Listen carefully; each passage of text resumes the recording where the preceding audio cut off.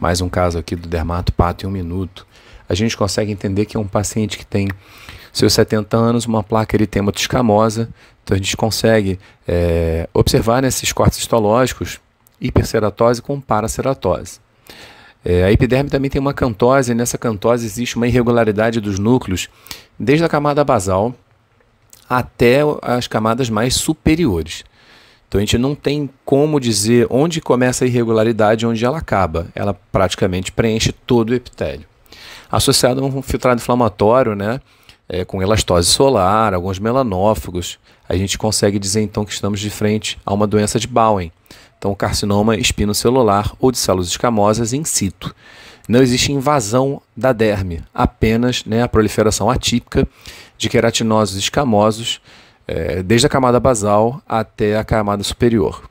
Dermatopato em um minuto. Forte abraço.